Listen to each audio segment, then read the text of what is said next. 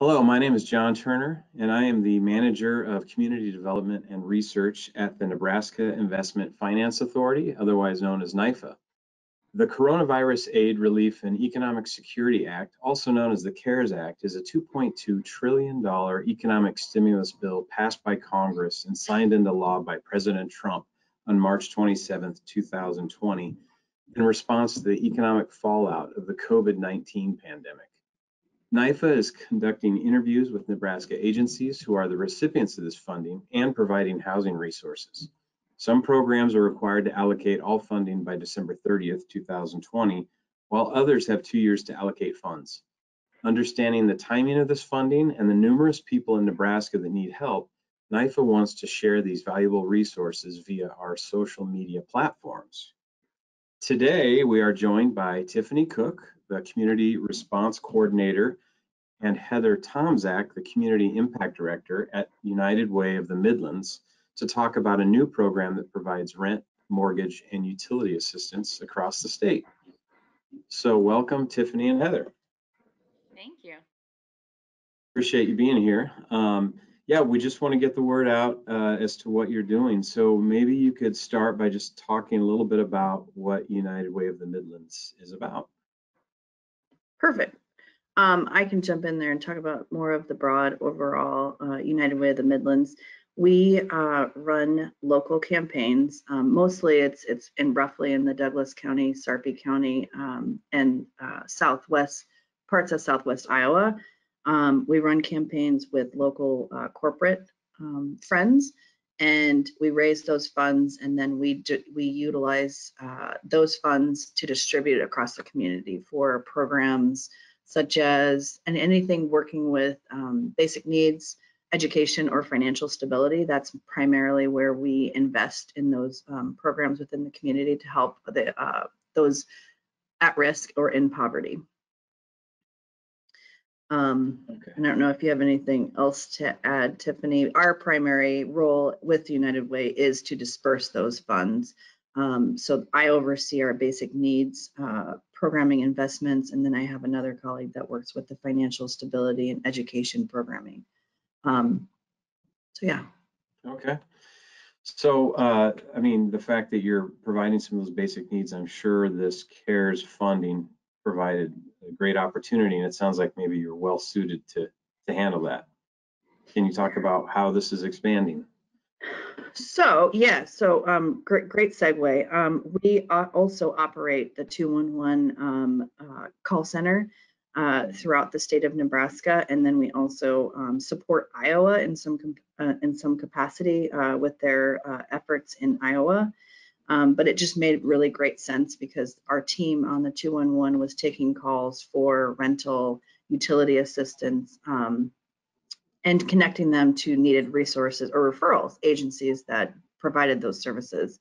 Um, we did have a small subset of funds uh, run through Omaha World Herald called the Goodfellows program that they were um, that the, that team would um, dispense um, so it just made great sense that we uh, accepted, um, we were awarded an investment from the state in order to sub, uh, for the rental and utility assistance, um, which uh, we also added the mortgage component because that is a huge um, need that we uh, were seeing uh, from one of our uh, partners that we currently invest in on homeownership and foreclosure prevention was the need for um, more additional resources for mortgage assistance. So we added that component within our program um, to support that. Uh, so now currently with that program, we are offering rent, utility, and mortgage assistance for individuals that have been financially impacted by COVID. That's fantastic. And uh, the I've told people this on other interviews is that I was the manager of the um, homelessness prevention rapid rehousing program in Lincoln from 2009 to 2012. And I remember people calling and saying, do you help with mortgage assistance? And we didn't. And now when I say we, I'm talking about where I used to work. Um, but I don't remember mortgage assistance really being uh, a resource that people had in the past. So this seems to be a new resource that, how are you finding that uh, different or from rental assistance to mortgage assistance? Was that a a major shift for you to kind of switch to that hat, that hat on?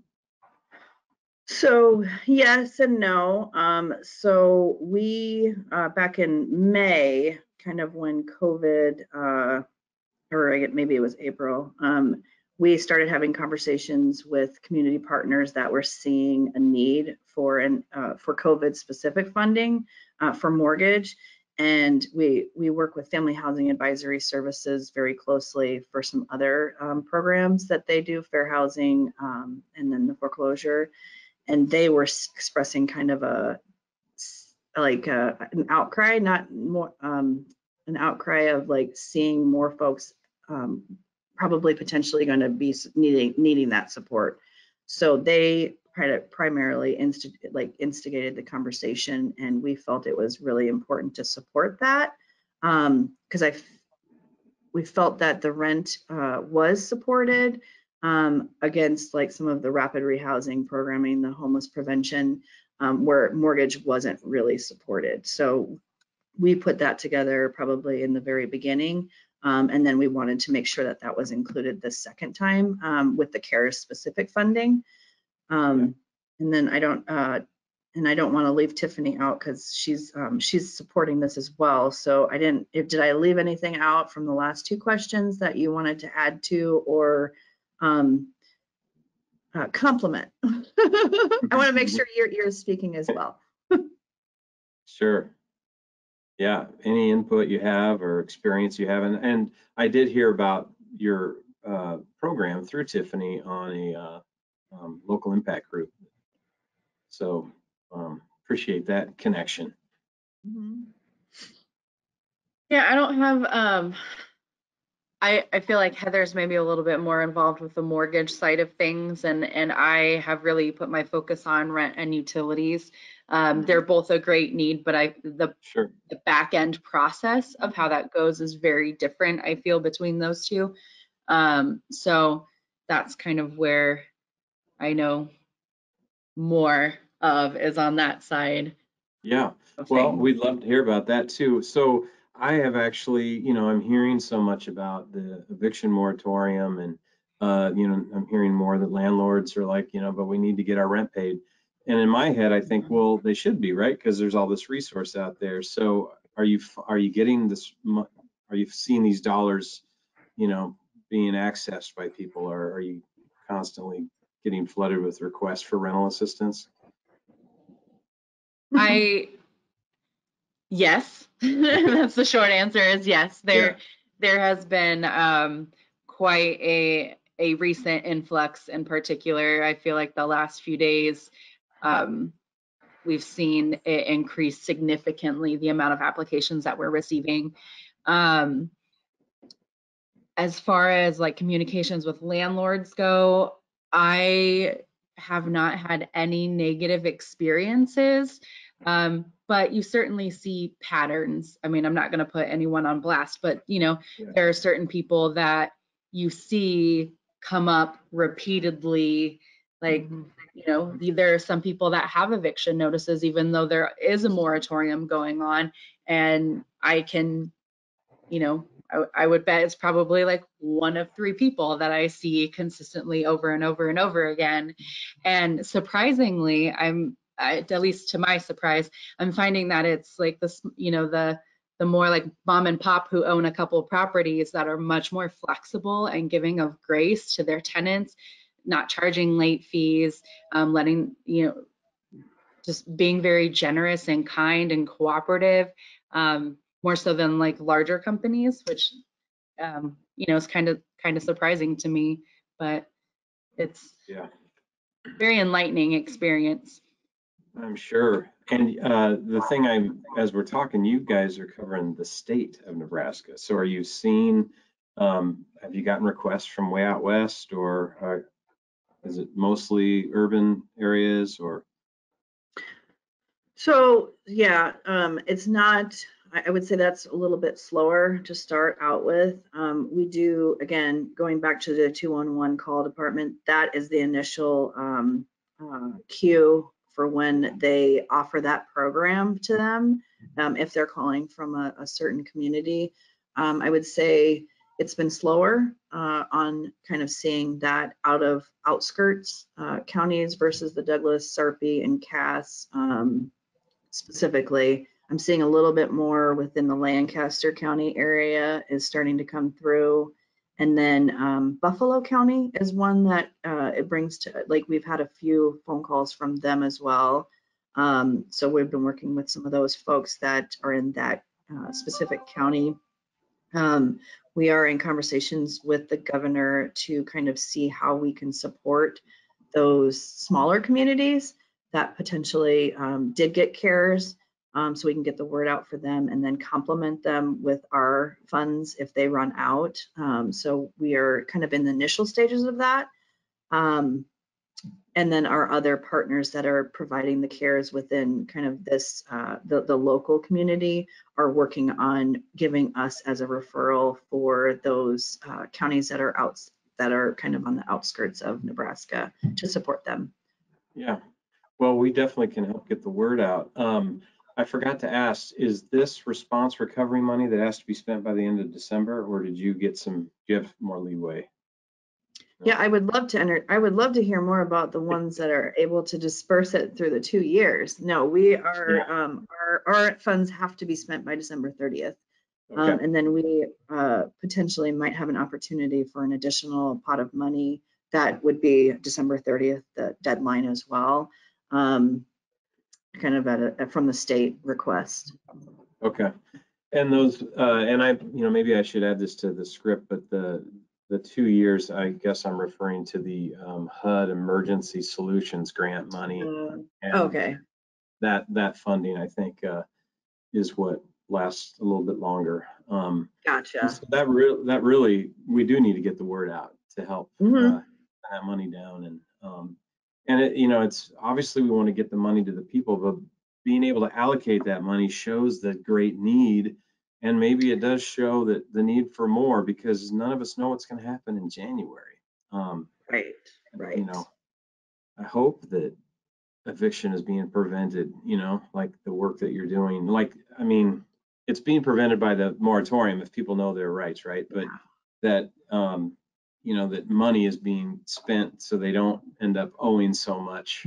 I was glad to hear you say that, you know, you've got some landlords that are saying, we're not going to charge a late fee, Yeah. which doesn't make a whole lot of sense, you know, to do that, but, um, you know, I guess people are trying. Well, to interesting.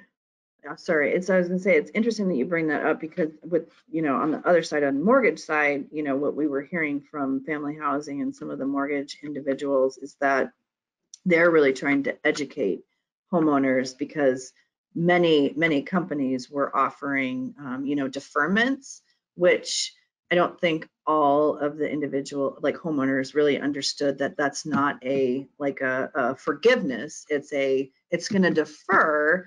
Um, and what we're hearing is that those deferments are going to um, be kind of like, some of them did like a year to where at the end of that year deferment, it's going to be a balloon payment, which could really put individuals in a, um, a crisis situation that we don't want to have happen.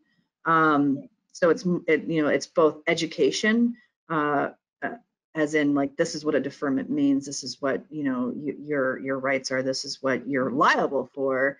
And then here is a great segue to a program that can help, you know, offset some of those, that, that funding, um, you know, once, you know, your deferment's over. Um, so that's what we were seeing more of, um, is kind of an education and then a support factor. Yeah, very important.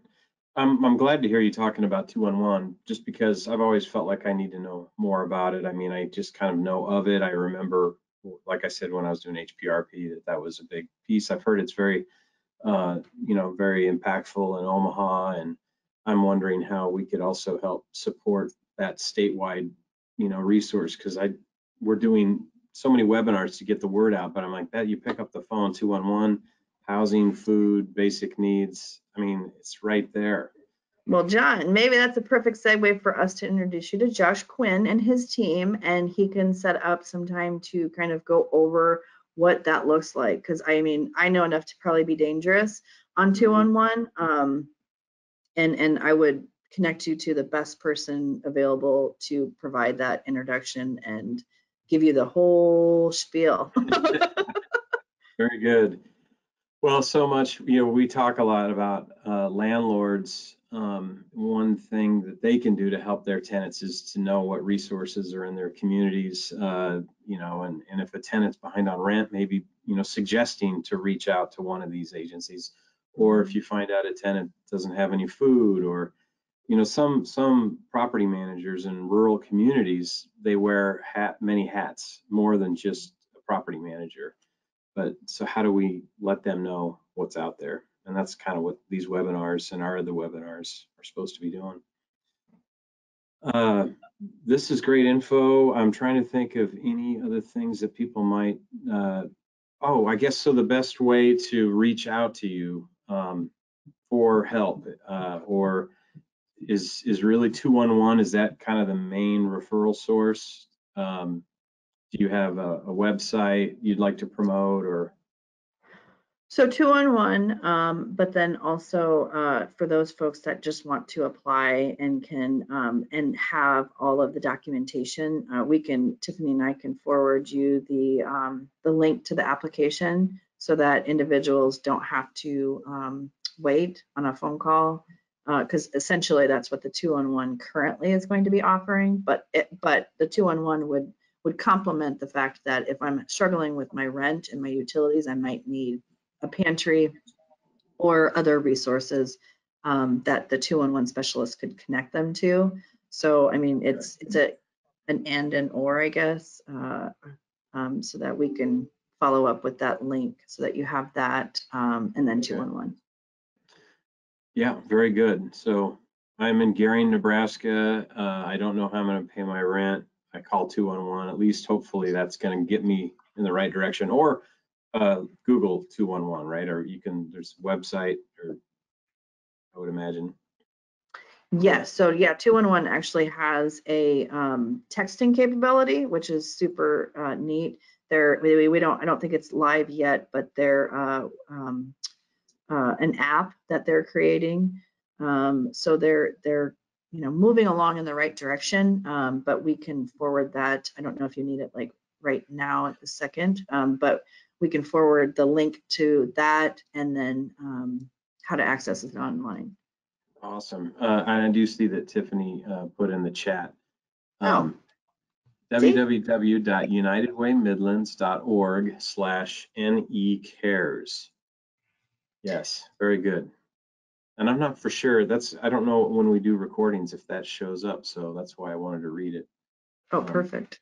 Yeah, The application is also available in Spanish, and there are multiple areas where you can upload documents. So if there are things that you're not sure about, like where does this go, there's a Mhm. spot where you can just upload a miscellaneous document. And something that I really appreciate about this application that um, is not necessarily on all applications is that there is a um, a part where you can write a statement from of where you can write your own statement regarding your situation.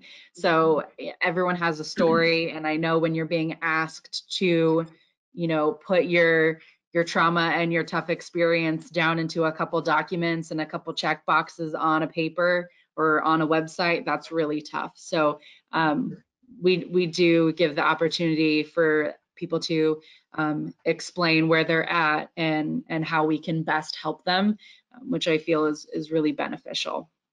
yeah. Very good. Well, I think, uh, it's like I said, it's a great resource. I'm glad you guys had time today to help get the word out and we'll try to do the same and definitely keep in touch. And yeah, I look forward to learning more about 211. Cool. So, yeah, so thank you, Heather and Tiffany, for your Thanks, John. time. Uh, any last thoughts? I don't think so.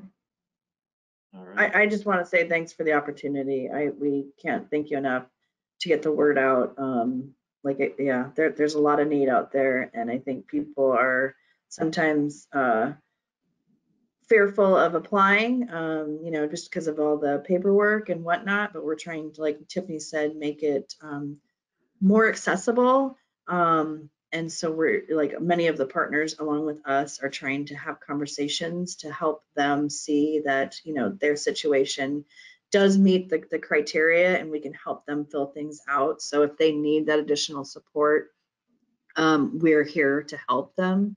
Um, you know, just to to help support the need. So Okay, very good. Thank you.